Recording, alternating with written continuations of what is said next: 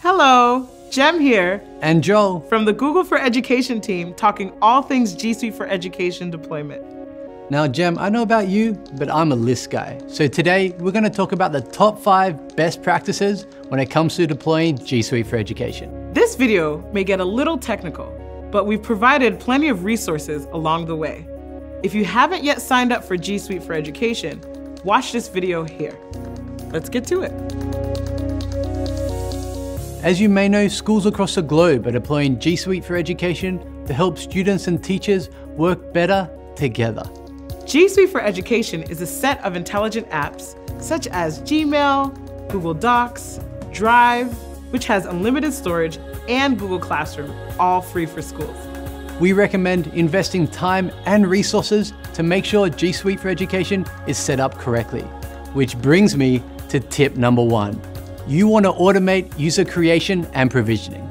Syncing users from a source of truth, such as Active Directory or student information systems, can save IT teams a ton of time. Now, if Active Directory is a source of truth for your schools, Google Cloud Directory Sync is for you. It's a one way push from AD that populates users, groups, and shared contacts. And there's even a password syncing tool called G Suite Password Sync, which will sync passwords from your Active Directory all to Google. Other schools may want to use student information systems to sync their users, and this is great. There are a variety of other tools on the market. EduLive, Yep. I'm Unified, Okay. Salamander, All right. Okay. Clever, We get it. Little Sis. There's a lot. On to tip number two. Tip number two create an organizational unit structure, or OU for short. OUs enable admins to do two really important things. First, apply settings to groups of users or Chromebook devices.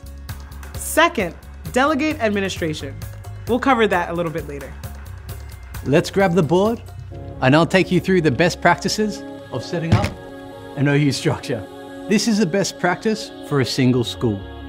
You'll see here at the top, you have the domain. This is called the root OU. Underneath that, we've created a Chromebooks OU, a staff OU, and a students OU.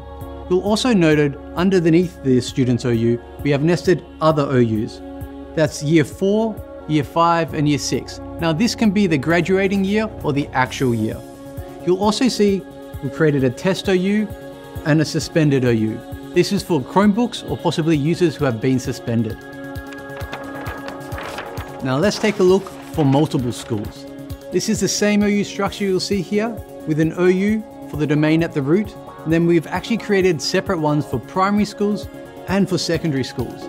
But underneath that, that's where we list the actual schools, like the previous version.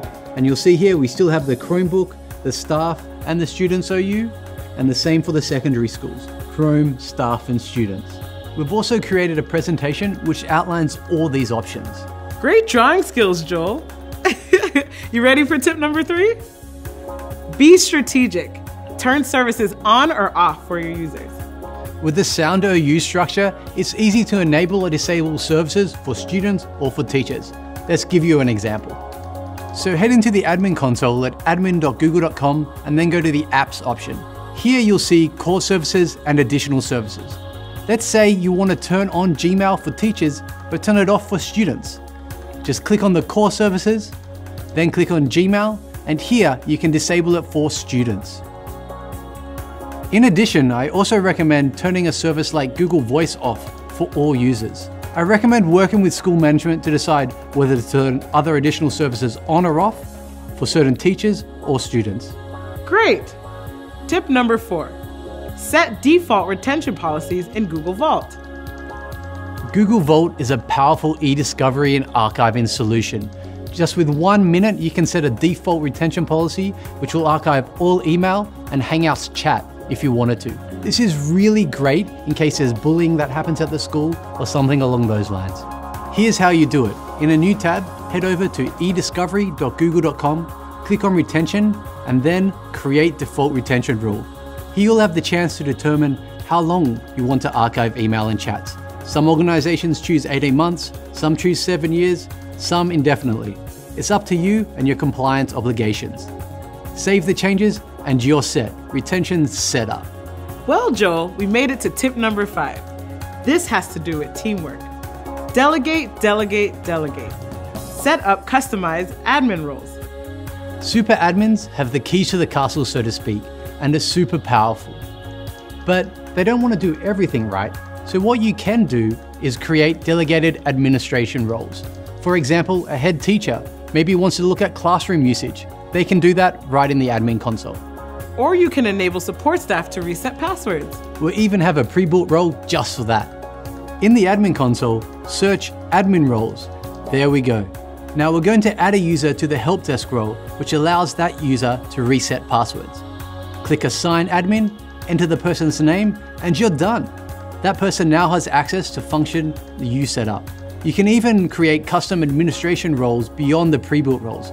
Many schools will create a role for managing Chromebook settings, for example. Okay guys, that's a wrap. Thanks for watching these top deployment tips and make sure to watch the other G Suite for Education and Chromebook deployment videos. See you later. Bye guys.